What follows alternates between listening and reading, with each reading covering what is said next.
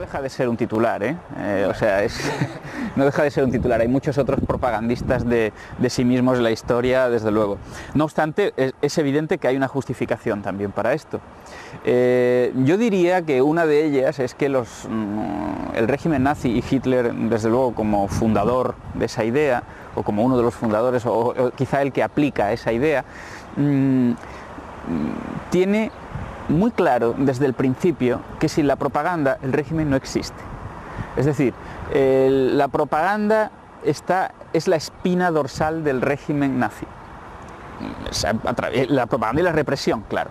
Pero la, propaganda está en la, es, digamos, la espina dorsal, la columna vertebral del régimen y por lo tanto, y está muy claro que lo que quiere que uno de los de las líneas de propaganda más importantes del régimen nazi es situar a Hitler en la cúspide. Es decir, el culto a la personalidad, eh, bueno, el culto al líder como militar, como político, como persona, como, en fin, es digamos el dechado de virtudes de Hitler que está en, el, eh, en la cúspide de la pirámide propagandística. Pero básicamente cuando hago esas afirmaciones es eh, sobre todo porque estamos hablando de un régimen que no existe sin la propaganda. Entre las causas objetivas, cientos de veces alegadas para explicar o justificar el papel de Hitler como sugestionador de masas, cuenta su celebérrima mirada hipnótica. Pocos han sido los testigos que ya fueran seguidores o adversarios, no admitieran el poder de fascinación de los ojos grisazulados de Hitler, que actuaba en un marcado contraste con unos rasgos faciales más bien toscos. Hitler, consciente de ello, supo sacar en sus apariciones públicas un gran provecho de su mirada, que ejercitaba en privado poniendo a prueba su efecto mirando fijamente a alguien hasta obligarlo a apartar o bajar la vista. La combinación de la mirada magnética con un empleo enfático de la voz, con una gestualidad apasionada, muy poco alemana, y la sabia intercalación de momentos de dramático silencio, tal vez expliquen el extraordinario poder que tenía Hitler como líder de masas, por muy difícil de comprender que nos parezca. Meine deutsche Jugend, nach einem Jahr kann ich euch hier wieder begrüßen. Ihr seid heute hier in diesem Muschel nur ein Ausschnitt dessen, was außer ihr über ganz Deutschland steht. Und wir möchten nun, dass ihr, deutsche Jungs und deutsche Mädchen, in euch all das aufnehmt, was wir dereinst uns von Deutschland hoffen. Hitler jugó un papel fundamental en la propaganda nazi, pero quizás más en la práctica que en la teoría, ya que detrás de esa teoría se encontraba el ministro de propaganda de la Alemania nazi, Joseph Goebbels. Joseph Goebbels fue ministro de propaganda durante el régimen nazi. Defendía la idea de colocar ese ministerio por encima de todos los demás, en la cúspide de la pirámide, de manera que controlara toda la información del régimen, incluso la información de inteligencia. Leonard W. Du recoge en su libro Los principios propagandísticos de Goebbels. Intentó llevar todos a la práctica, consiguiéndolo unas veces y fracasando en otras. Goebbels es el arquitecto y al parecer mm, eh, el arquitecto de ese, de ese montaje propagandístico basados en, ideas previas eh, que ya están incluso los textos clásicos del nazismo, como Mi lucha y todos estos. Entonces Goebbels es uno de los pocos intelectuales del régimen.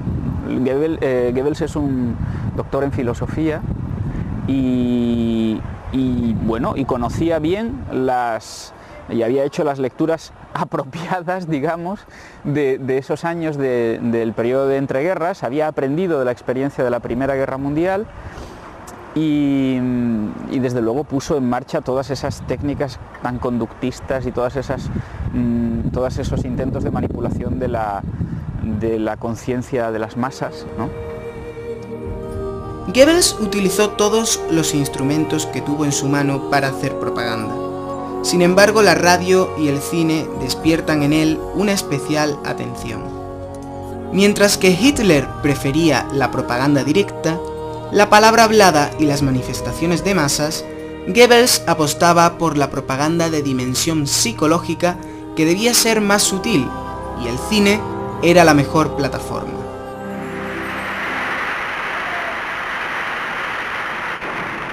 Möge die helle Flamme unserer Begeisterung niemals zum Erlöschen kommen. Sie allein gibt auf der schöpferischen Kunst einer modernen politischen Propaganda Licht. El cine jugó un papel fundamental en la propaganda nazi.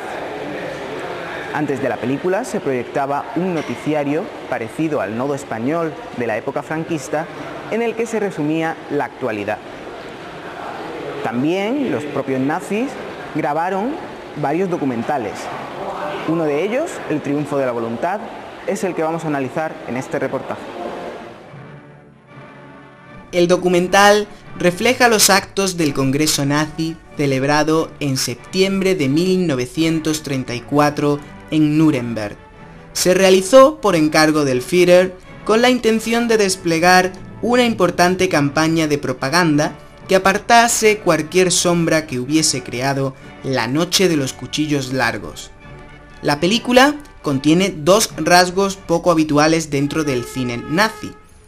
Que Hitler protagonizara el film y que se encargara de realizarlo una mujer que no era miembro del partido, Leni Riefenstahl. También se dan dos elementos importantes de la propaganda nazi, las reuniones de masas y los discursos de Hitler. La radio también jugó un papel fundamental en la propaganda nazi. Se llegaron a bombardear literalmente varios receptores de radio y se llegaron a vender más de 3 millones de receptores de radio baratos en los que solo se sintonizaba una emisora, la emisora afín al régimen. Las emisoras de radio emitían en directo los discursos de Hitler, tal y como podemos ver en la película crítica El Gran Dictador. También se emitían a través de distintos altavoces situados en lugares Botones públicos. Hinkel, compren botones Hinkel con una bonita fotografía del Puy en cada uno. ¿Dos? Tome, señorita, uno para usted y otro para su novio. Son dos marconios.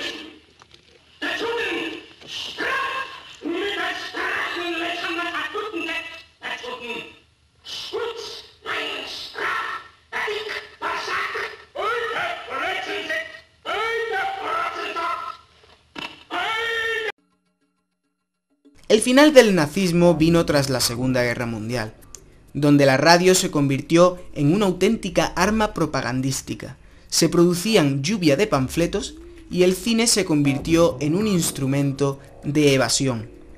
Aunque hoy todavía quedan algunas secuelas de este régimen, como pueden ser los colectivos neonazis.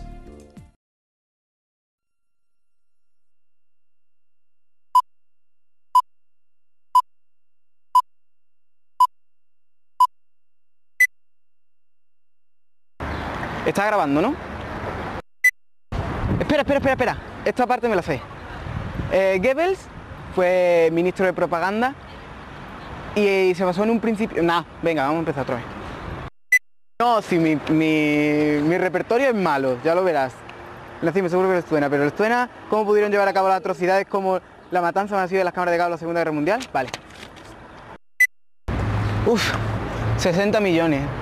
Uf, 60 millones de pesetas iba a decir, ¿vale? 60 millones. de pesetas. Para el autor Martín Loperdigne, Loiper, Loiperdine, Dinger, Loipedinger, No me pongas hablando por aquí por detrás.